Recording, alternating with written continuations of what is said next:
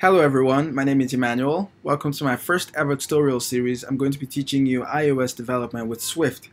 Now before we actually start developing iOS applications, we need to be able to communicate with a compiler, right? That's what Swift is about. So for those of you who do not know, Swift is a programming language that was created by Apple that allows us to be able to create apps that run on Apple devices. So things like uh, iPhones, uh, the iPads, the Apple Watch, MacBooks, yeah, things like that.